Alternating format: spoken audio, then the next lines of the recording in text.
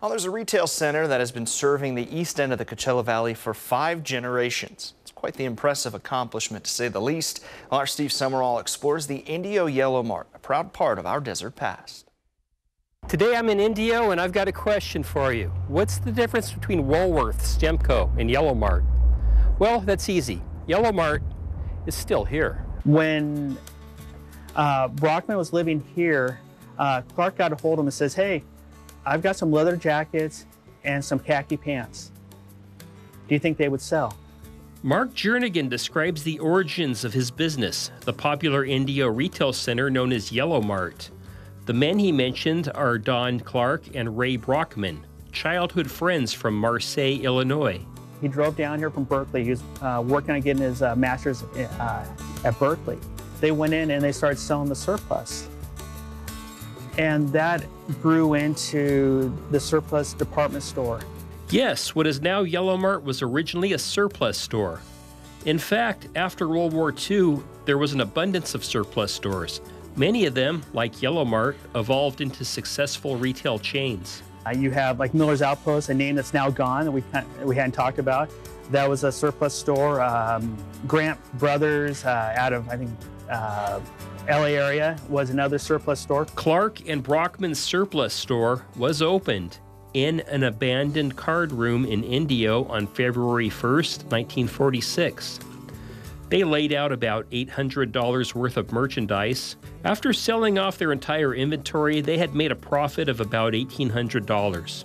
But as time has revealed, Yellow Mart's greatest reward has been the respect shown to them by the communities of the east end of the valley. It's been built by the residents of, of this great city of Indio, um, the residents of uh, Coachella, just this whole end of the valley is what has kept this business going for years.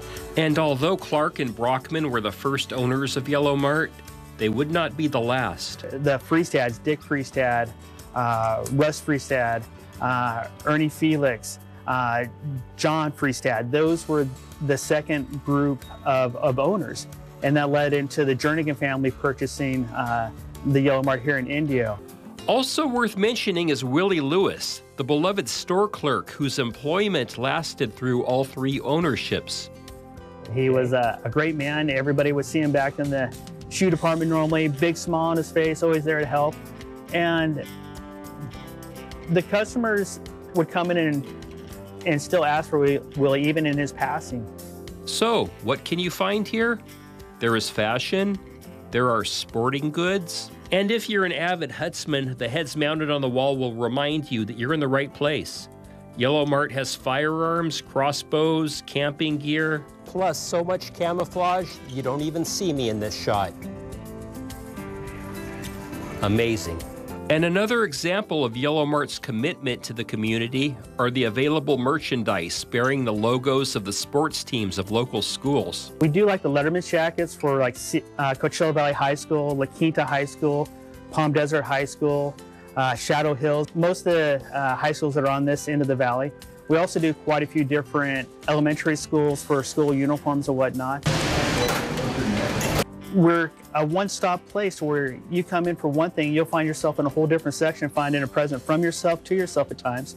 We're the place where memories begin.